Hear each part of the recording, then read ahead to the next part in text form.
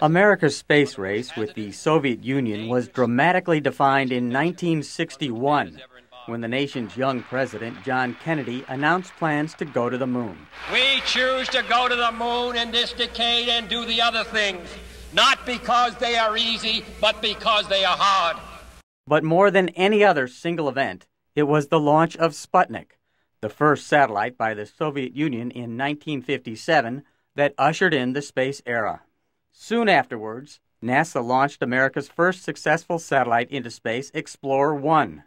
And moving decisively, President Dwight Eisenhower establishes NASA, the National Aeronautics and Space Administration, on October 1, 1958. Six months later, Project Mercury is announced. Seven men will carry the nation into space Slayton, Schirra, Cooper, Carpenter, Glenn, Grissom, and Shepard. America's first astronauts were introduced to the nation on April 9, 1959. In an interview before his death, Alan Shepard remembered the day. Because that was one of the happiest days of my life. Uh, that was the day in which we all congregated officially as the uh, U.S. First Astronaut Group.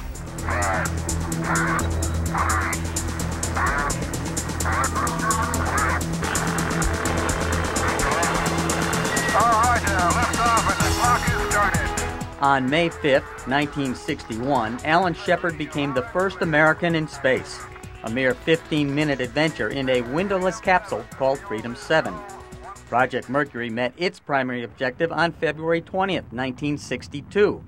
On a flight lasting 4 hours and 55 minutes, astronaut John Glenn orbited the Earth three times. Roger, zero G, and I feel fine. Capsule is turning around. Oh, that view is tremendous.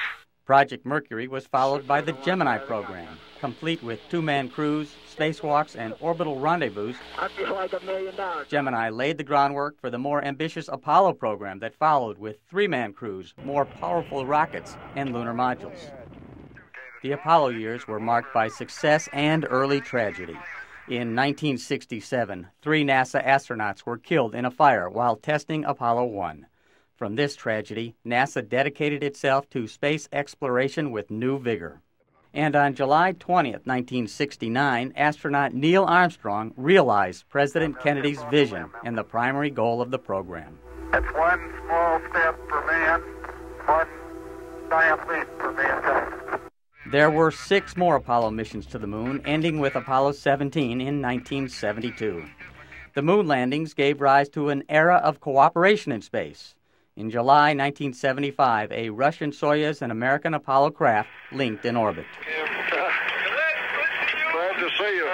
It was the end of the Apollo era, but a new chapter in manned spaceflight was unfolding. The reusable spacecraft Columbia made the first shuttle flight in 1981. The shuttle fleet has carried many satellites into space, as well as the Hubble Space Telescope. Hubble's many discoveries have captured world attention. A final servicing mission is scheduled for later this month.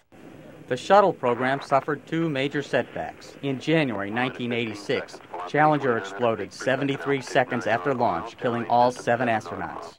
And in February 2003, Columbia disintegrated on reentry, killing its crew of seven. After substantial delays, NASA's shuttle program continues. It has been essential to the largest, most ambitious scientific endeavor by mankind to date construction of the International Space Station.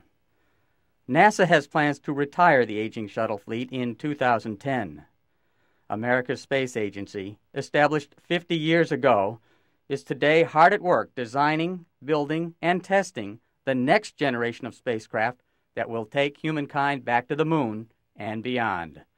Paul Sisco, VOA News.